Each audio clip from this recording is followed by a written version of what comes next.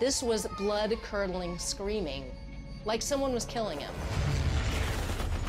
He was saying, Airplane crash on fire, little man can't get out. And that's what he was repeating over and over.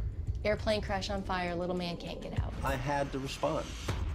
So I started to ask him some questions. What happened to your plane? It got shot. Well, who shot your plane? The Japanese.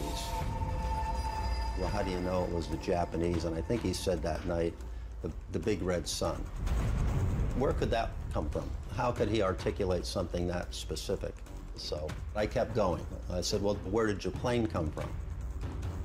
And he said, A boat. Did your boat have a name? And he said, Yes, Natoma. Here was this history of USS Natoma Bay, CVE 62. This ship supported the Battle of Iwo Jima.